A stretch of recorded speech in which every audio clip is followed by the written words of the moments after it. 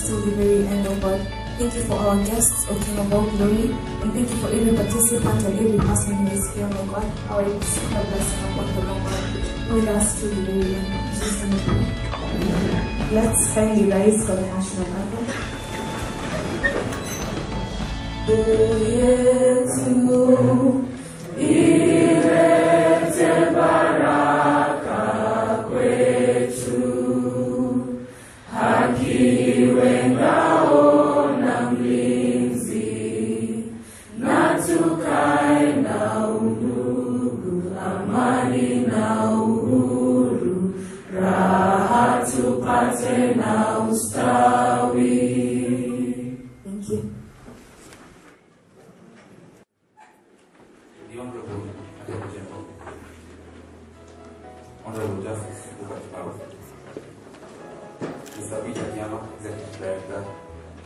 Environmental Legal Unit, Mr. Greg Tarrant, Director of Field Operations, International Justice Mission, Mr. Ulf Kaldan, Field Office Director, Henry Wall different.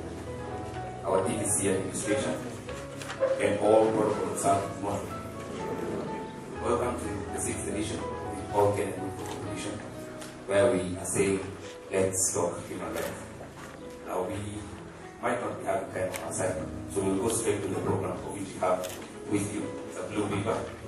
And uh, we'll begin with the opening remarks of the Dean, University School of Law, Mr. Zula Thank. Good morning, everybody. Good morning once again.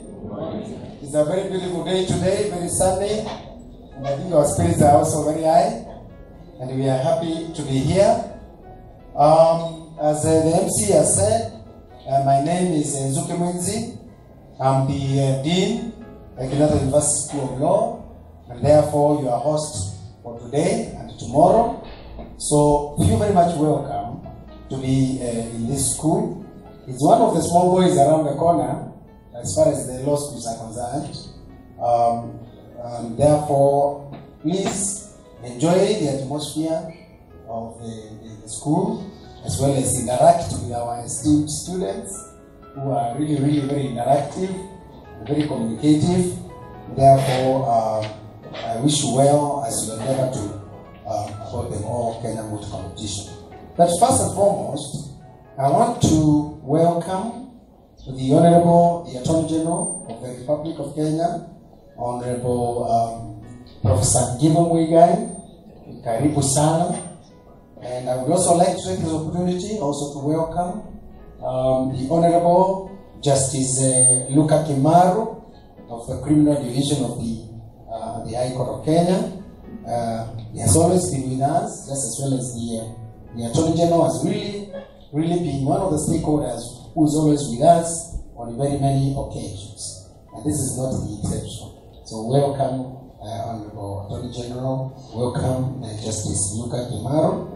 I will not uh, forget also to, to welcome um, our you know, sponsors, um, namely uh, Mr. Long, Longe Terrell.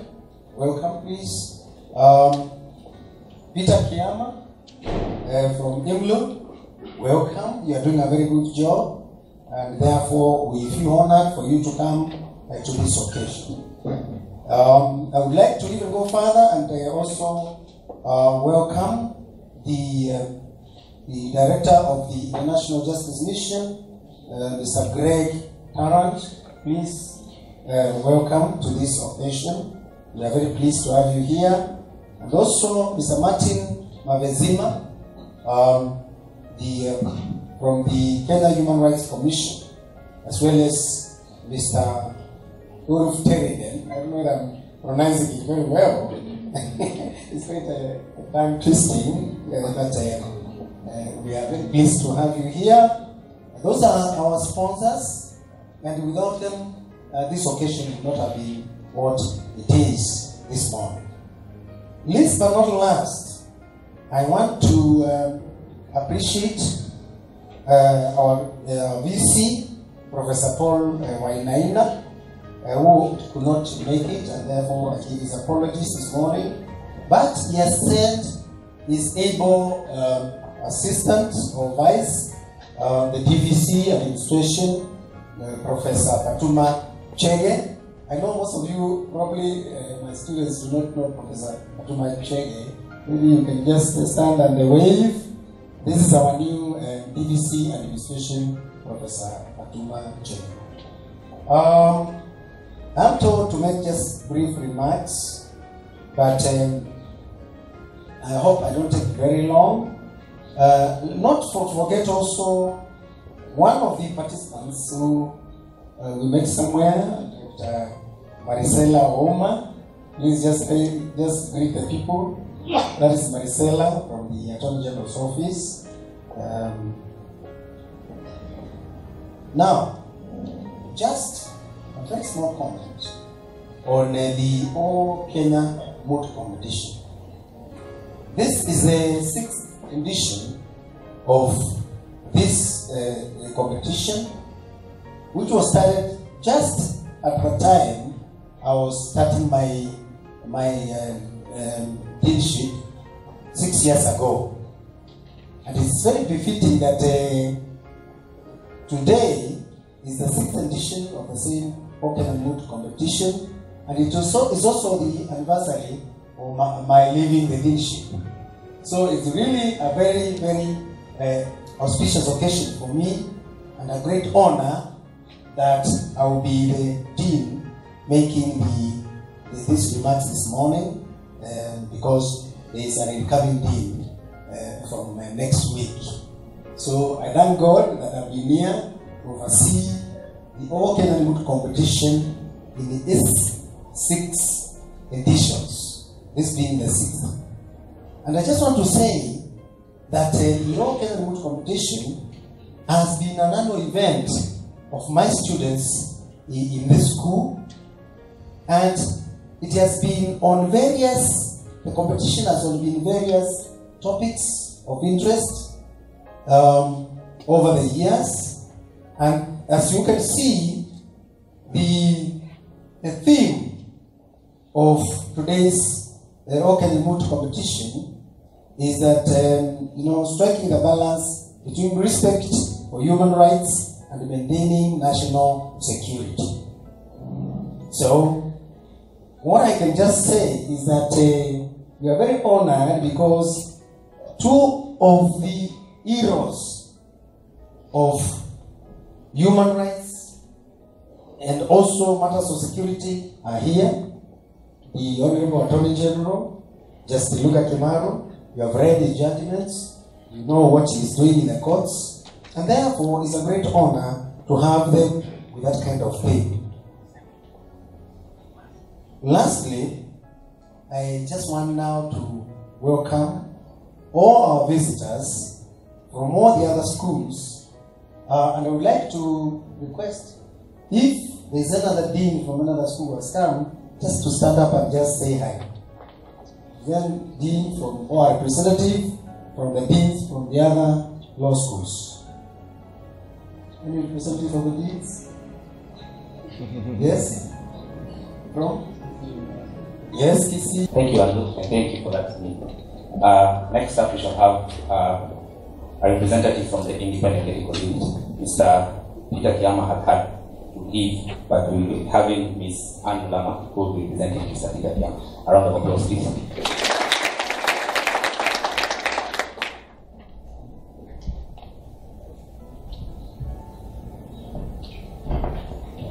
Uh, the guest of honor, Justice Luka Depu- Deputy Vice Chancellor, the Dean, uh, Kenyatta uh, University's Parkland School of Law, members of staff, the participants, and all uh, ladies and gentlemen uh, present today, good morning. Uh, allow me to read uh, Peter Kiama's uh, speech, but he has had to leave as Timothy has already indicated to you. I'll read briefly the speech to touch on today's theme, striking the balance between respect to human rights and maintaining national security, which is a theme that falls squarely under our mandate as IMLU.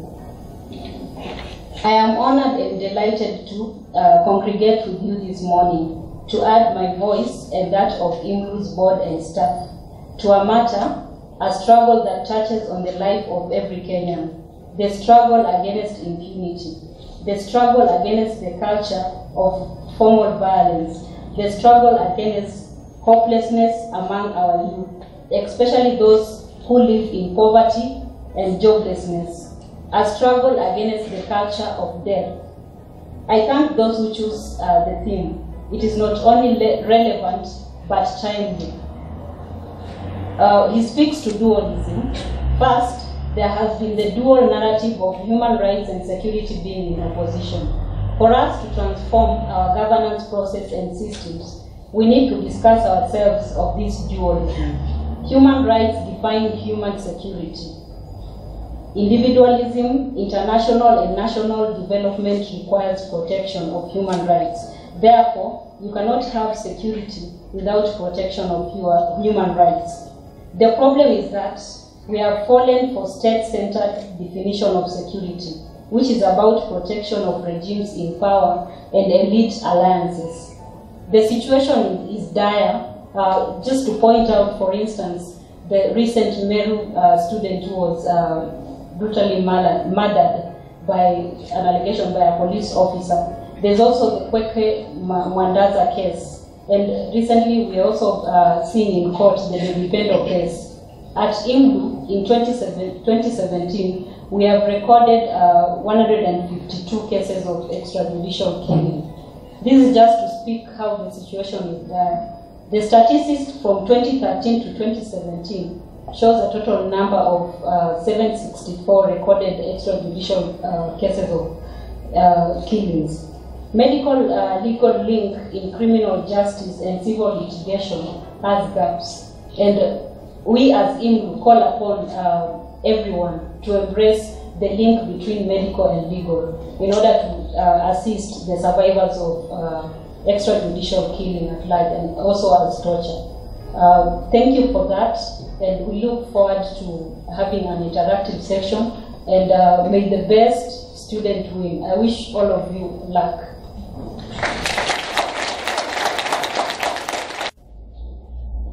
Distinguished Attorney General, Distinguished Justice Kimaru, uh, Dean of Kenyatta Law School, other distinguished guests, and participants. Uh, good morning. It is good to be with you this morning. Um, I think this issue of the balance of the coercive powers of the state and the individual rights and freedoms of people is one of the great questions of our time. I think, as you see, this debate is happening everywhere in the world, from the United Kingdom, the United States, to Russia and China, to here in Kenya today, throughout Africa. This truly is something we're all looking to and asking where where is the line? How much force is needed? Right? How much force is too much? Uh, at International Justice Mission, we deal with this question every day. Our goal is to protect people from powers of violence, and specifically police abuse of power. So we see this all the time, and it actually became quite personal for us as an organization when our colleague and friend Willie Kimani was killed uh, by police officers. So for us, um, this is not just theoretical. This is a, an important thing to, to drill down into and to look into. Uh, his case is ongoing, and one of our great hopes at IJM is that we will see that uh, when police overstep their bounds, uh, they are held to account by the state. At the same time, I would say we understand the difficult work that police officers have to do. They have been given the power to arrest and detain for reasons. You need law and order in your society, and you need police officers who will carry that out. And so it's a difficult, challenging job. And uh, yeah, I, I, I think this is why this topic is so interesting. I would also say that I think my generation around the world has, uh, has failed to address this issue. We're seeing it everywhere. It's, it's, as I said before, it's an issue all over this globe. And so, what I love about today is to look out and to see young people, law students, who are going to debate, who are going to discuss, who are going to research this topic. And my hope is you shed light on what we can do around the world to address this issue of uh, individual rights for people, but also this, the state security system, the state power. So, like others, I wish you the best of luck. I'm very interested to hear what you talk about. And uh, yeah, we'll see the best woman or man who succeeds at the end of this time. Thank you.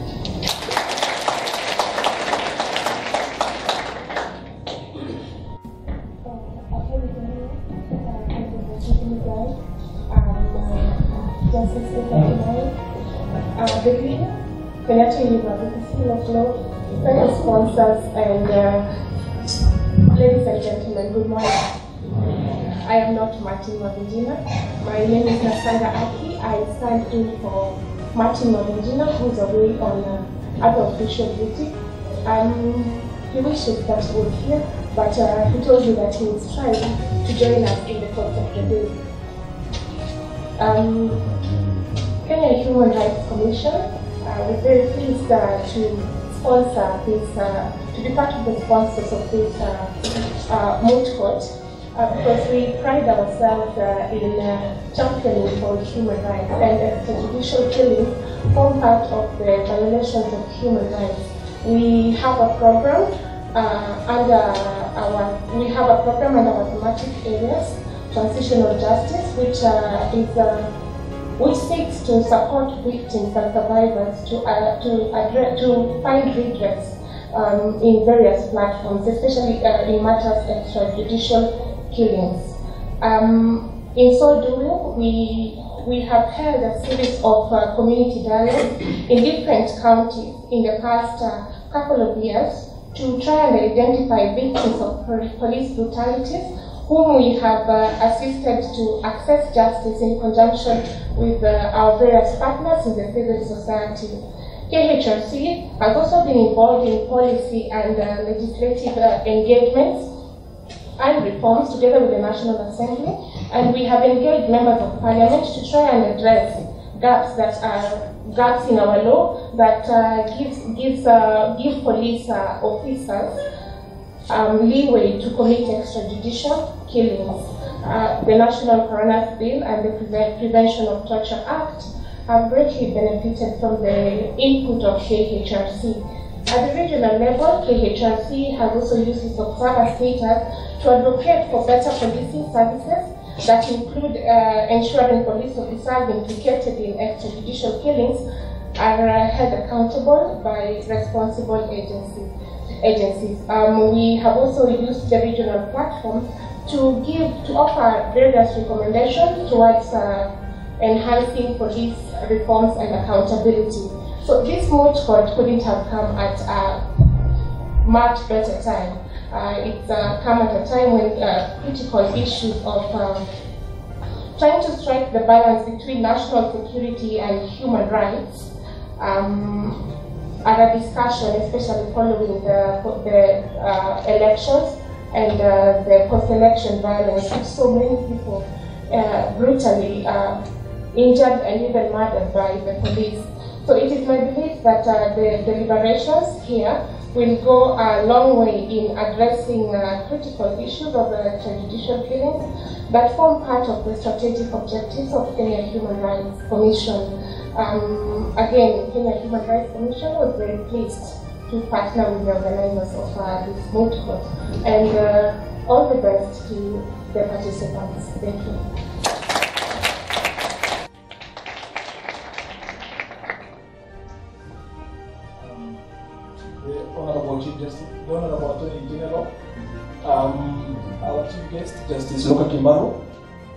Dean, Parklands Chapter, and all protocols observed, in addition to our great participants. Good morning. Assalamu alaikum. Mine, um, I just have a message from our Executive Director, Mr. Samuel Kimeu, who happens to be out of the country. Uh, as transparency, we we are the champions of fighting corruption. We have always been the, the at the forefront in, in the fight against corruption. So mine, ours is just tell from the entire message from the family of Transparency International Kenya my pleasure. Uh, we, we are pleasured and we are so happy to have been partner, partnering with, uh, with uh, this great team in terms of organizing for this great discussion here. And we are looking forward to many more. In as much, uh, despite that, in as much as we wish the best lady and gentleman, the best of the two, uh, the best of luck, and uh, as we congratulate them in advance, ours is also to, in addition to that, to uh, add the youngsters that let's not let's let's let's just keep the conversation going. Let's not stop it here. We have a lot to discuss. These are the kind of thematics that we are interested in. As transparency, we are looking forward to many more in terms of uh, being supportive. Thank you so much.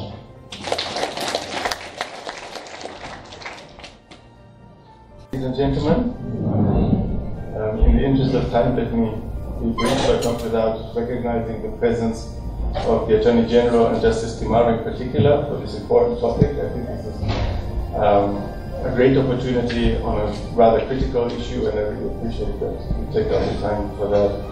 And to thank the Dean, Mr. Mwinzi, for the welcome. My name is Ulf Terlinden. I'm the director of the regional office of the Heinrich Böll Foundation, which is one of the four German political foundations present in Kenya and in the region. And we are the, the one that's associated with the Green Party uh, in Germany, associated, not, not part of, we are, we are linked ideologically and thematically. So we work on issues of gender democracy, environmental issues, food rights, and regional and international dialogue, including civil society and human rights um, in the region. And as such, um, I wanted to first of all congratulate you for picking this particular topic uh, for this debate. Many before me have said how, how timely it is, how relevant it is also. And I just want to abuse the opportunity to um, highlight that this is for us a support that we're giving in the context of a wider engagement in which we've also partnered with many of those present here, including IMLU, uh, the Mathare Social Justice Center, Amnesty International, the International Justice Mission, uh, KNCHR, and Africa Uncensored on a project called The Missing Voices. Um, it is not yet public, it is not yet out, but it is going to come out in the coming months. Um, and it will be showcasing the victims of extrajudicial killings, the circumstances of their lives, the circumstances of their deaths, and the judicial follow-up that their deaths have, have seen. And um, in other words, it will be telling the story that these missing voices did not live to tell. Um, we do not approach this as an easy subject at all, and for sure your discussions will, will reconfirm that over the coming day, two days. Um, that it is a complex issue and um, one that, that, that requires broad engagement and, and no simple finger pointing, simple allocations of blame, but a, a, very deep discussion, I think, of the, of the legal context as well as the institutional responsibilities attached to it. So, in that spirit, I wish you the best of discussions and uh, hope that you also generate some insights that will further help to address this issue in the interest of both human rights and, and the Constitution. Thank you very much. And uh, hashtag the. And you can tag us as well, the All Kenyan Moot. And let's keep this conversation going. Thank you. Um, just before, as well, before I invite the EBC, I'd like to recognize the members of staff Parklands campus who are here, and I'd like the same to stand and mention right? Dr. Faith Kabata. Thank you. A round of applause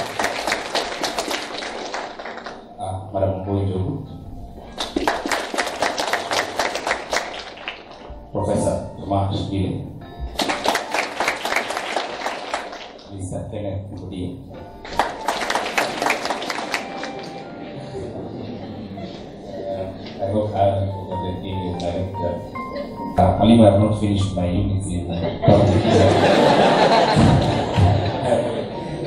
so, without further ado, I'd like to introduce uh, the representative of the Vice Chancellor, Professor Inana, who is Fatuma Chege, sorry. Morning, everybody. Uh, mine is um, the humble duty of uh, reading the remarks from our Vice Chancellor, and it's an honor for me to have been asked to do that.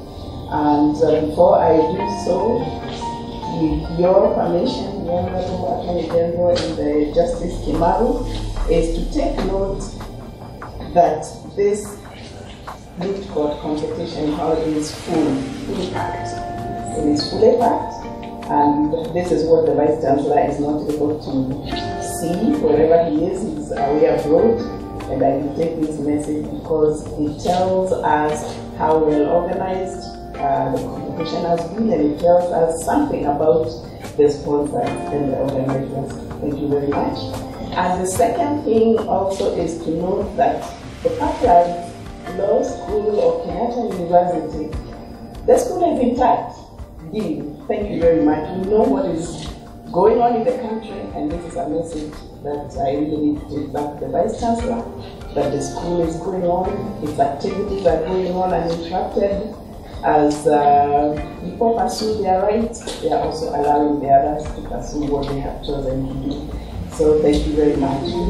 Now, the Honorable the Attorney General, Professor Githu Muigai, Chief Guest, the Honorable Justice Luka Kimaru, Judge of the High Court, the representative of the Attorney General, Dr. Maricela Uma, Executive Director, Heinrich Böll Foundation, Kenya, Executive Director, Kenya Law, Executive Director, International Justice Mission Kenya, the Executive Director, Independent Medical Legal Unit Kenya, Executive Director, Amnesty International Kenya, Executive Director, Kenya Human Rights Commission, Representative, the Independent Policing Oversight Authority, Representative, Transparency International, members of faculty of schools of law, universities of Nairobi, Moi, Strathmore, Riara, Jomo Kenyatta, Kabarak, Nazarene, PC, and the Catholic University of East Africa, members of faculty, Kenyatta University School of Law, students from various law schools, including all competitors,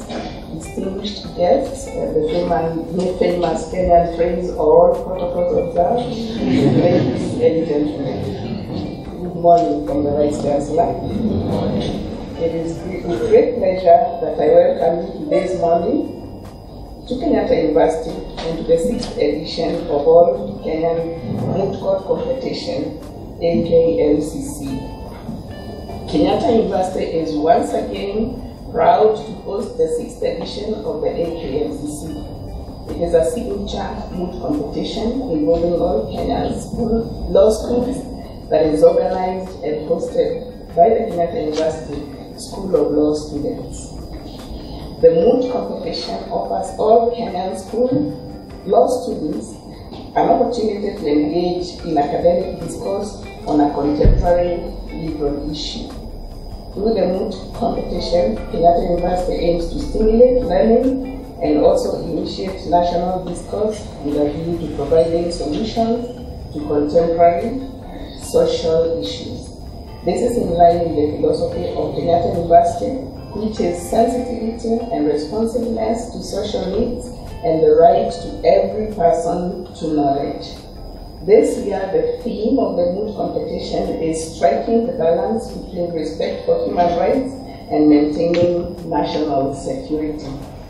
Undoubtedly, the theme resonates with Kenya's current issues. The issue of guaranteeing national security while ensuring respect for human rights remains an ongoing concern in Kenya. Questions of how to counter terrorism while maintaining respect for human rights and how police ought to deal with criminal gangs features in day-to-day discussions in this country. By adopting this sixth edition's theme, Kenyatta University creates a platform to stimulate national discourse among law students, the judiciary, the national security agencies, legal practitioners, human rights institutions, both government and non-governmental, the academia, and other agencies dealing with human rights, policing, and national security. The AKMCC is thus a symbol and a metaphor through which, as law schools and as institutions of higher learning, we can make a contribution in resolving contemporary societal challenges. Over the next two days, 11 law schools from across the country will be competing for the top prize. I must congratulate all the participating teams for having come this year. Your participation in this competition is a stepping stone to your legal career. It is our hope that your participation and engagement in the next two days with judges, magistrates, esteemed legal scholars, human rights practitioners, and renowned legal practitioners will transit legal knowledge and help instill fundamental ideas and values, not only in the practice of law, but in responsiveness to humanity in successive generations of lawyers. Finally, I would like to appreciate the sponsors of the AKMCC, Kenyatta University, Heinrich Böll Foundation, Independent Medical Legal Unit, International Justice Mission, Kenya Law, Kaplan Stratton, and the Kenyatta University Students Association for supporting the School of Law in organizing and hosting this event. We say Asante Sana to all teams. Thank you for accepting our invitation, and I wish you all the best of experience in this competition, and may the best competitor win. Thank you very much from Professor Paul Kiwainaina, Vice Chancellor, Kenyatta University. Justice Luka Kimaru. We are very honored and happy that you've been partnering with us. Let's all rise as you come forward. You may, sit. Please.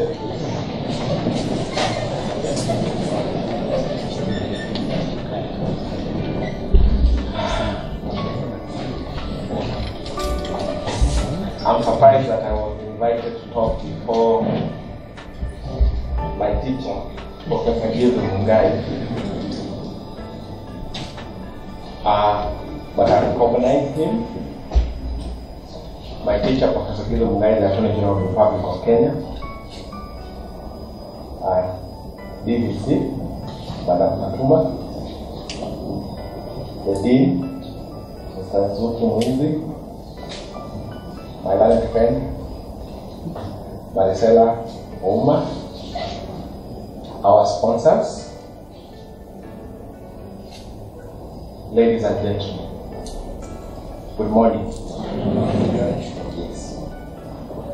Uh, so, I make my speech.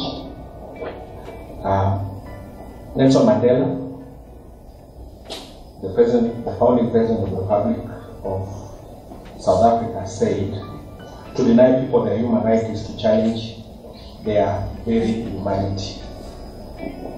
John F. Kennedy, the president of the United States of America, said, "The rights of every man are diminished when the rights of one man are threatened." The above two quotes by the globally renowned world leaders bring to the fore the competing moral and legal dilemma for states in their quest to balance respect for human rights vis-a-vis ensuring that a state's national security is guaranteed. The dilemma therein has been how to determine what ought to take precedence over the other. This need not be the case as the two concepts are intertwined. Human rights have been held to be rights that accrue to an individual by virtue of their existence irrespective of race, sex, nationality, religion, or any other status. As such, they are God given, inalienable, and not granted to an individual by another individual, the state, non state actor, or whatever the case may be. The global community under the ambit of the United Nations, in recognition of the importance of protection of human rights as a tool for promotion of global peace, drafted and adopted the Universal Declaration of Human Rights in 1948, which has since been ratified and domesticated by most of the members, member states by enactment of Bill of Rights, forming part of their constitutions. Some of these human rights include the right to life, the right to liberty, right to fair trial, to name but a few.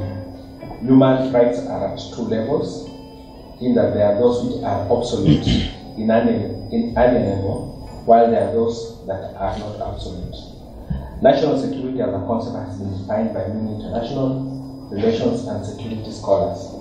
I, however, choose to go with the definition by one of the leading scholars on international security, Barry Buzan, who is a professor of international relations at London School of Economics, who works, New Patterns for Global Security in the 21st Century, opined as follows, and I quote, Security is about pursuit of freedom from threats and ability of states to maintain their independent, independence, identity, and integrity against forces of change, threats which they deem hostile to the very existence of the state.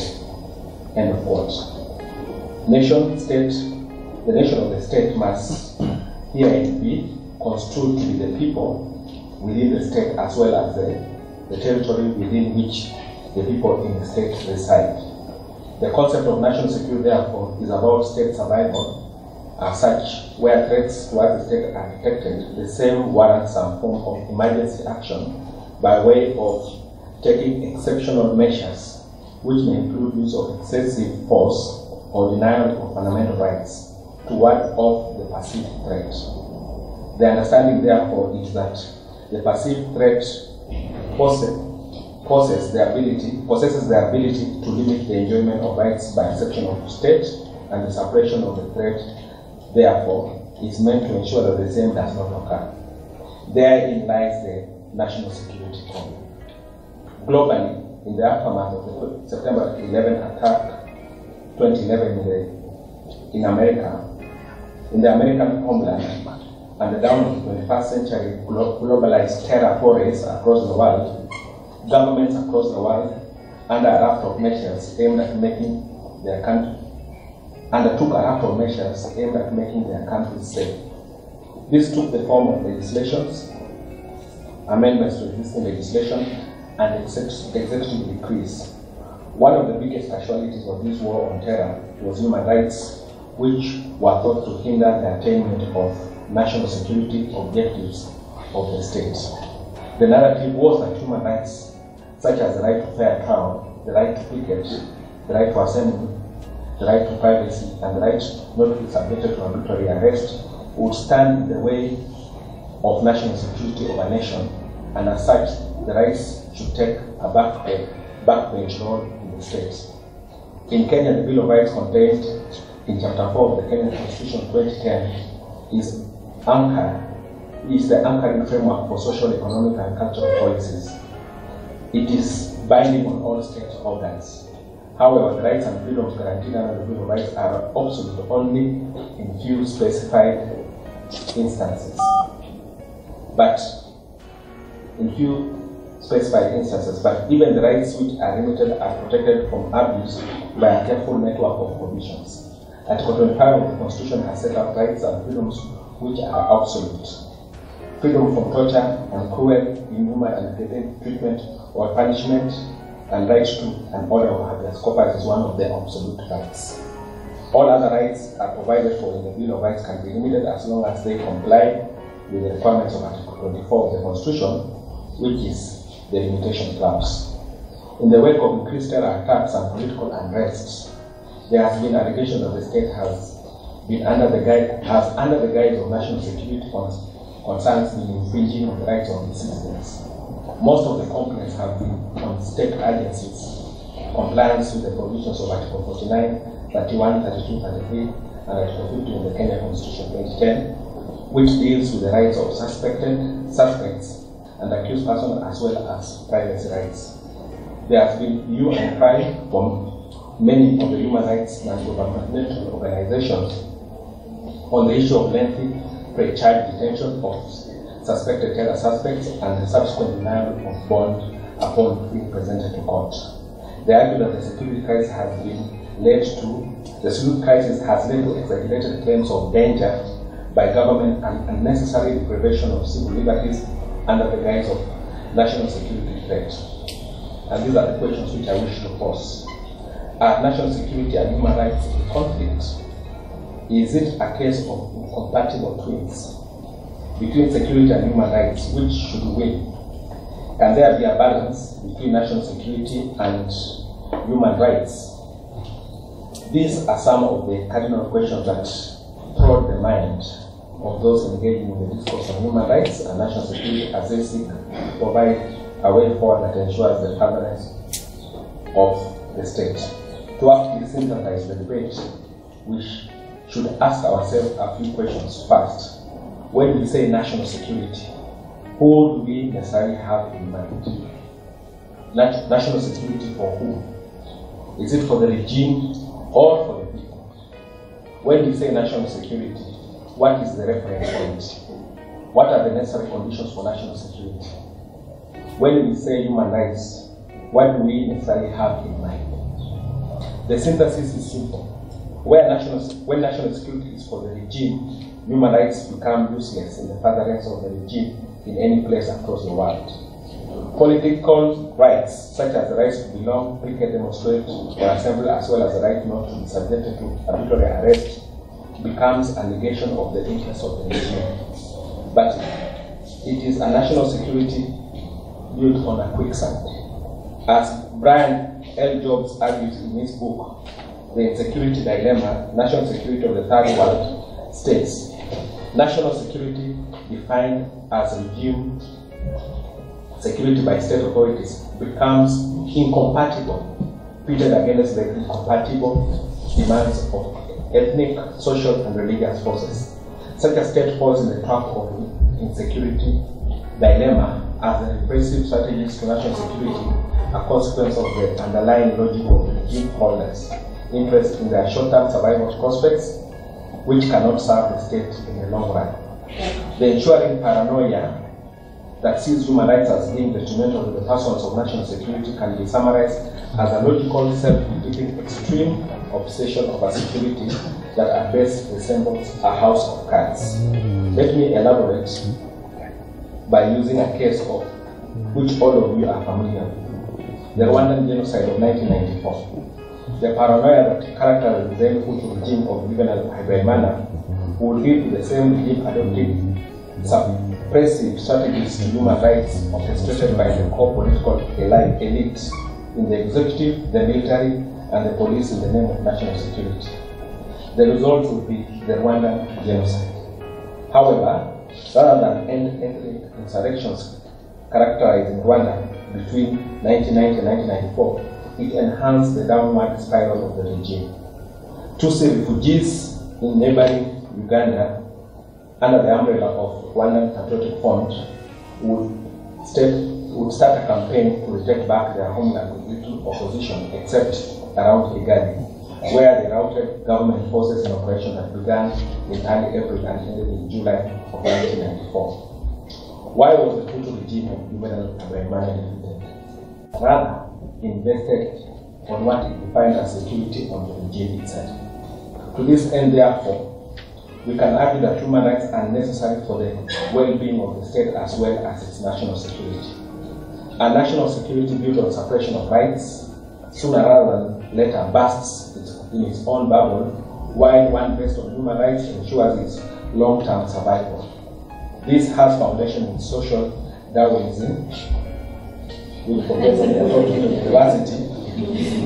taught jurisprudence. Incidentally, he awarded me an A. yes. So, human beings strive to be free, and as social contract theory tell us, are only united by the state to achieve the common goal of security. However, contrary to the logical understanding of Max Weber in his 1919 thesis on the state as likely holding the monopoly over the legitimate use of force, states that primarily dwell on force as the raison d'etre of their survival do not stand the test of time. Rather, a key ingredient of the state, beyond the monopolization of force, is the rejuvenation of the citizenry through the provisions of social values, key among them human rights. To this end, therefore, the state that upholds the rights to liberty and participation in political life, such as the right to life, equality before the law, freedom of speech, the right to fair trial, freedom of religion, and voting rights, and ensure social economic equality as a key tenet of the citizen's life by according the citizen to equal conditions and treatment and provisioning a right to be employed in just and favorable conditions, rights to food, housing, and health care, as well as social security and employment benefits, will most likely be better able to safeguard itself from external machinations. Indeed, this is the key reason, reasoning that framers of our, the framers of our constitution were thinking of in ensuring the inclusion of Article 43 on socio-economic rights in our constitution. The need to ensure group and collective rights, the right to self-determination, the right to economic and social development, the right to a healthy environment, the right to natural resources, the right to communicate and communication rights, the right to participation in cultural heritage, as well as the right to intergenerational equity and sustainability is also the honor to, be, to ensure a happy citizenry in a happy environment. Should human rights be traded away in this manner in order to safeguard the community, or should human rights be inviolable? The answer is both yes and no. In time of public emergency, which threatens the life of the nation and the existence of which is officially proclaimed, the state may take measures derogating from their human rights obligations to the extent strictly required by the exigencies of the situation, while taking measures to notify competent authorities such as Parliament, provided that such measures are not inconsistent with the Constitution and do not involve discrimination solely on the ground of race, color, sex, language, religion, and social origin. Furthermore, in the age of Ebola, SARS, avian flu, swine flu, and all manner of communicable diseases capable of transmission across the globe, a short-term notice on curtailment of freedom of movement may, for, for instance, be required. Can we therefore balance the two? Across the globe, balancing national security in the protected rights against the object of the authorities in making the law that conflict with the rights. In Canada, South Africa, and the United States, for instance, this requires that all laws be open to judicial assessment for compliance with the constitutional norms. In Australia, this can involve a court seeking to ascertain whether the law seeking to curtail a right is directed to a legitimate end which is reasonably appropriate and adopted to serve that end. In balancing, however, as the crux of the paper's argument sharply shows, it is never appropriate to derogate from certain absolute human rights such as the right to life and liberty and the freedom from torture, regardless of the exigencies of national security. But there is a caveat. Rights must be addressed in view of ensuring socio-economic and the political realities if there is to be a balance between the observance of human rights and national security. It is therefore paramount importance that state states set up procedures and legal framework capable of waiving the sometimes overblown claims of threats to national security. Such procedures and laws would be able to test such claims of threat, explore their relations to the exercise of civil liberties, and establish the limits of such restrictions. If the balancing approach will necessarily be engaged, as Ben Golder and John Williams argue in their article, Balancing National Security and Human Rights, assessing the legal response of common law to common law nations to the threat of terrorism, the decision makers should require the most cogent empirical evidence available that the proposed means of achieving the goal of community safety and national security will actually be effective. This rule of balancing requires the decision maker to justify the derogation of human rights by reference to a demonstrated link between the means which derogates from the human right and the end, community safety and national security. In the context of a, of a parliament legislating prospectively, this will require policymakers to make some attempts to forecast the social, political, economic impacts of their proposed actions. In conclusion, therefore, the two, human rights and national security, need not be in competition. National security and promotion of human rights remains the government's core business. As such, insecurity remains the liberty's greatest threat and government's greatest responsibility. It is a delicate balance. It is therefore gratifying that this year's moot competition topic addresses these current and vexed topics. In the course of your deliberations and debates, it is my sincere hope that you will be able to learn and appreciate the ramifications of the two topics that you have chosen to interrogate. At the end of it all, it is my sincere hope that you will not only gain knowledge, but also enjoy yourselves in your presentations for and against the emotions. Most importantly, you should take the opportunity in the two days of deliberations to make friends and establish linkages. It is now my singular pleasure to declare the Moots competition 2018 officially.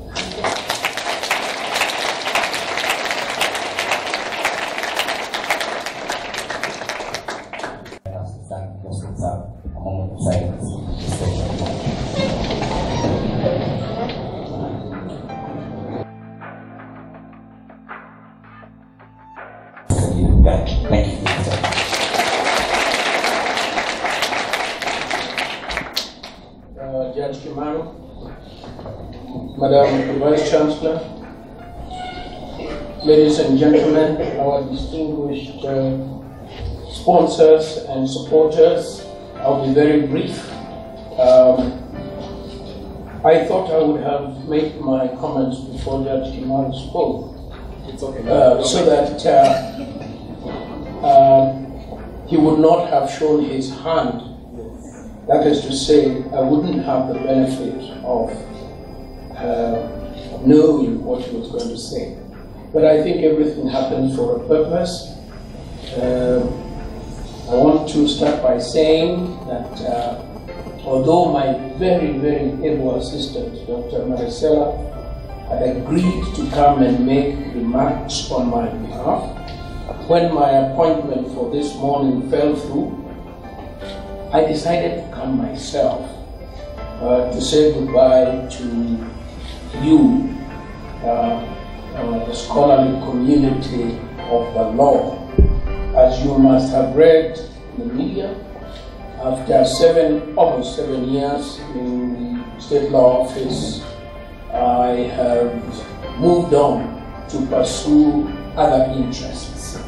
And uh, since I have been uh, associated with this school since it was founded. I actually opened this building and I have been associated with the Moot. I thought I should come and say goodbye. Not to mention, like Judge Kimaru has intimated, that one way of always feeling young is by staying with the young. And there is no better place uh, than in the university. Not only because people are young physically, but because they are young in the ideas that they possess.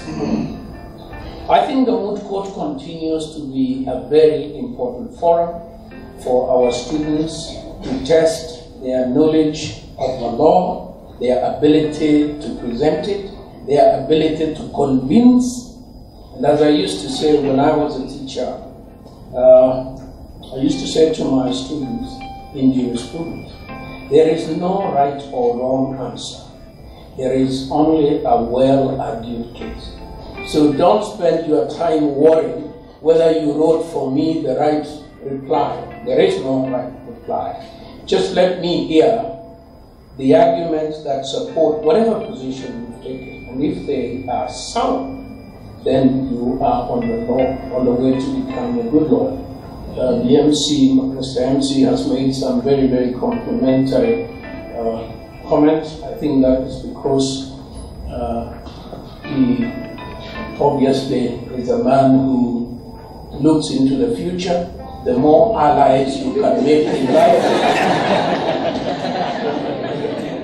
and the less enemies you make, the farther you can go. Uh, but it is true that uh, I have had the singular privilege uh, of uh, being involved in, with the law for three decades plus. I have argued cases uh, in international tribunals and forums, at the ICC, at the ICJ, and many other places, and I know this to be true. You are receiving in this country a very sound legal education.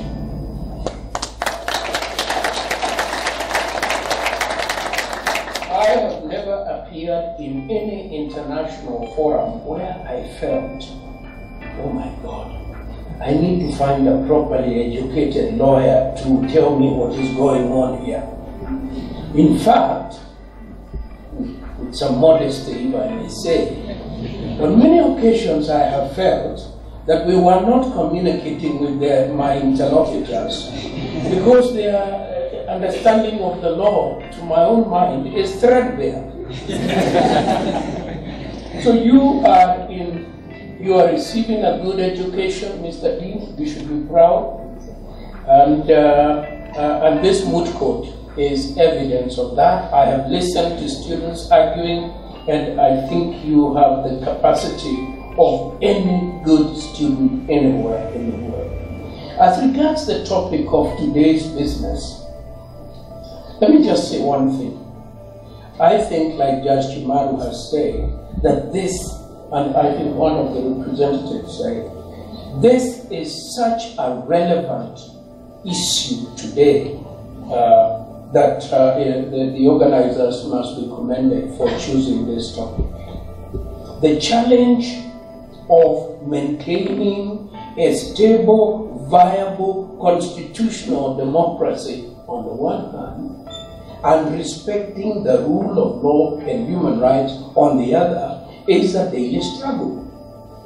And uh, in the seven years that I was in the state law office, uh, not wearing a professorial hat, I spent a lot of time in court telling the judges, uh, like they say in Kavirondo country, mos mos, mos, move slowly, move slowly. Uh, because uh, we are, uh, my view was, you know, we have a we have a fragile constitutional democracy in a very dangerous uh, part of the world. We are surrounded by porous borders where thousands upon thousands of people are refugees. Some of them are armed, some of them are radicalized, some of them are dangerous. And we are dealing with very good, solid uh, lawyers who have the other argument. The government has a, is making excuses instead of developing robust institutional capacity. Government is using crude force, and then we would argue and argue. You know, the judges would decide sometimes largely in the whatever. So, I'll, I'll, I'll just say sometimes, sometimes largely in the middle, sometimes a little this way or that. Let me give you a very concrete case that I want you to, in my view, it typifies for us in Kenya this dilemma in very clear terms. Five, six or so years ago, the government arrested two nationals of a Middle East country who had come through our airport and who had been tracked by the people whose business it is to do that. Those two nationals had enough explosive material to blow up the whole of international Kenyatta International Conference Center, plus one, plus something to spare. They were arrested in their hotel room. Their, their computers were confiscated. Their phones were taken away from them. Using that material, security forces went to where this was, this TNT was buried in Mombasa. It was recovered, a prosecution was mounted. Last week, they were convicted. Last week, two weeks ago, the, High, uh, the Court of Appeal, Court of Appeal overturned the conviction. On what basis? On the basis that there was a lack of those of you who are evidence lawyers, that the chain of possession of some item or other had not been proper, properly established. I don't know what is the right thing or the wrong thing. I want you to think about such a case. I have no doubt that the court has affirmed the importance of procedural law, the importance of the human rights of the, of the suspect, and so on. I'm not sure myself what the court has said about the security of the threatened state itself. I don't know whether the court is wrong or whether it is right.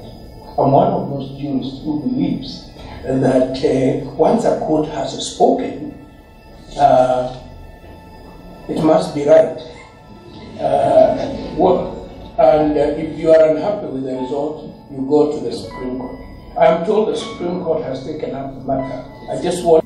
So when you finish the moot court, come down to the Supreme Court and listen to that case, and then you will see that what you are involved in today is a live, very live, very contemporary issue. Before I sit down, I want to thank um, most of the organizations here represented for the support they gave me in my time in office. We did some wonderful work on some very groundbreaking human rights defending legislation. We, we passed an anti-torture law after nine years of trial.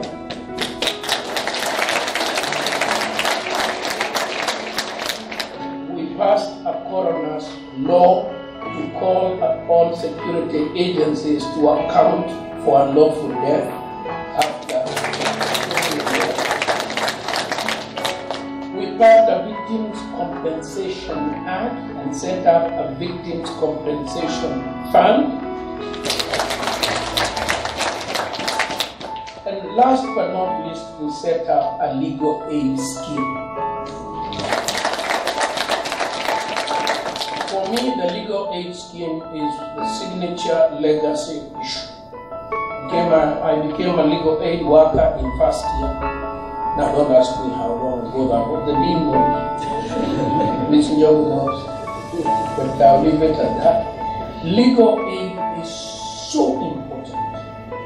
Otherwise, everything we do with the law will not mean much to the majority of the people because they will have no access to the law. So I want to thank you so much for inviting me and to wish you very well in your competition. Uh, may, may the best lawyer win. Thank you.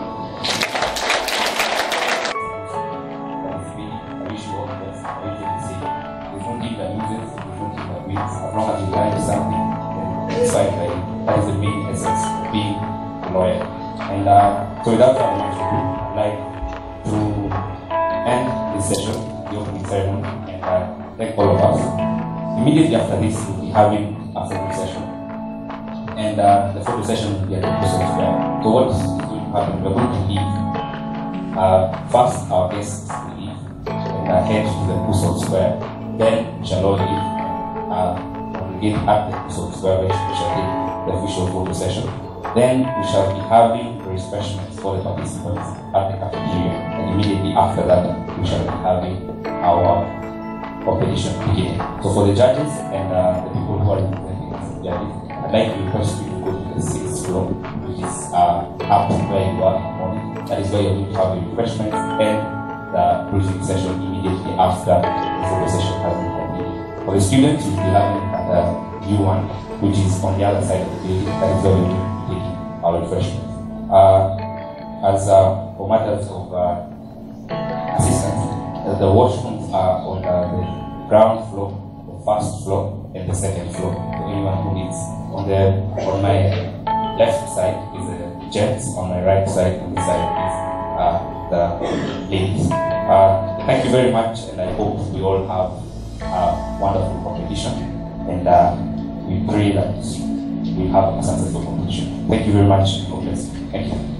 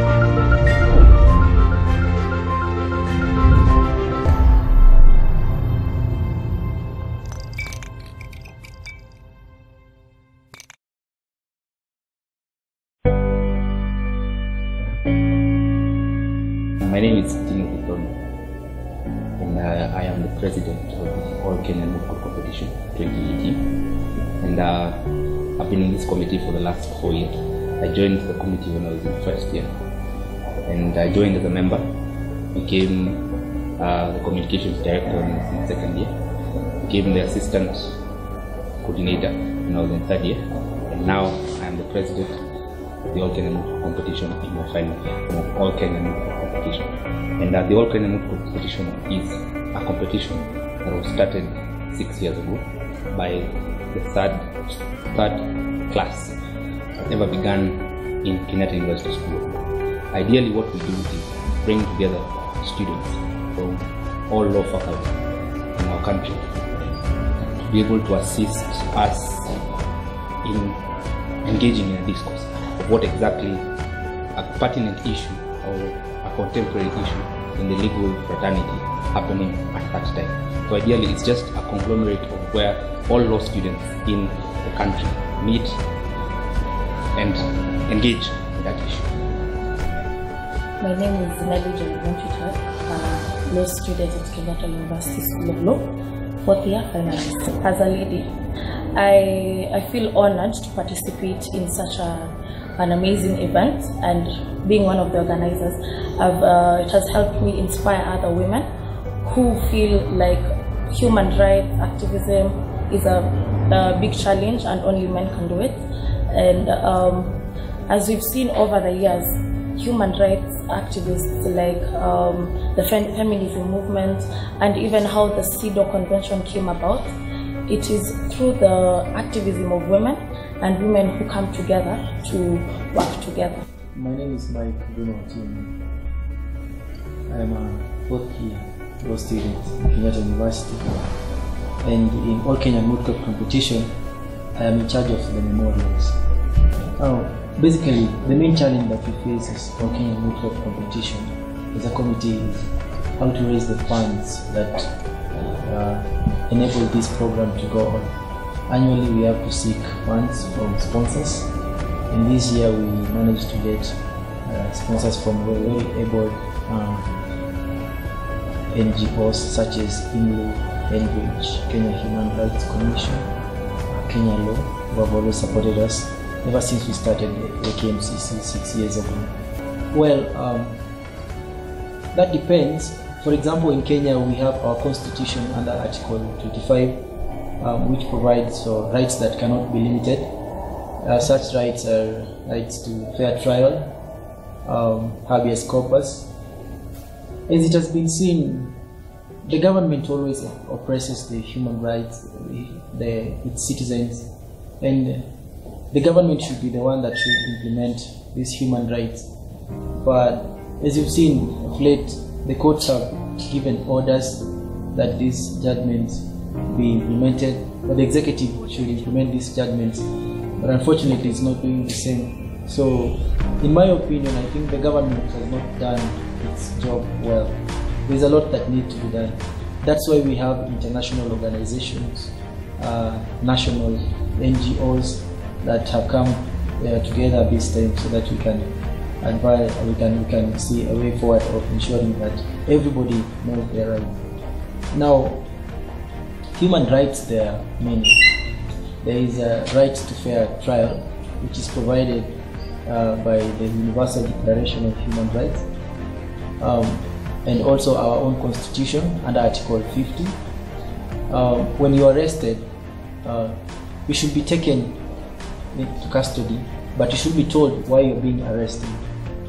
And from arrest, when you're taken to the custody, you have a right to be released on bail. You also have a right to be released on, on bond. Um, but as much as we have these rights, uh, you know, someone's right ends where the other person most begins. So you cannot just be exercising your rights without considering that the other person has rights. Uh, with that regard, yeah, as we enjoy our rights, we have to be careful so that we do not step on other people's toes because we are all human beings and uh, we are entitled to equality. We should be treated with fairness. So it's not only the government, it's also you as an individual. You should observe these human rights. um, being a member of the All Kenyan Youth competition for the past three years, um, we as the All Kenyan Youth competition struggle to find uh, the, the current the current happenings, what's happening in the society. Uh, for instance, this time, uh, post-election, experienced a lot of killings, enforced disappearance, the government refusing to uh, uh, follow the court orders. So this time we thought that this theme on human rights was the best suited this time. when students sit down and interact on this issue. I can give you an example. About two years ago, um, the United Nations Human Rights Commission, uh, the United Nations Commission for Human Rights and Refugees, uh, we conducted a moot court and the basis was on refugee law. Four months down the line, whatever we had discussed in the competition ended up being something that happened in our country when the deputy president gave the directive to close the Dadaab camp. And we had already discussed this issue in the moot court competition. So you find that usually preempt something that's already there. So you find that even the cases that are ongoing right now, the Willie Kimani case, the Kendall case, whatever judgments will be given by our judges here, most likely won't fall short of what people will have discussed here. So we usually shape uh, national dialogue on matters of human rights, and uh, and I think this competition is not even serviced enough as to what it actually brings to the legal society. But human rights can only be implemented by you yourself. It doesn't start from the government or the institution or anyone. Human rights begins with you. You protect your right, I protect my right, and we correct the government whenever the rights have been have been gone against. My experience has been nice because it's a bad year for me. So it has helped me in growth in terms of advocacy and expression in terms of different areas and different topics that I deal with. So the competition is bringing solution to emerging issues which are affecting us. So for example, we try to bring solutions in human rights, which is a current issue, which we work in hand with the judiciary and the society to balance the goal. It's a very hectic uh, job.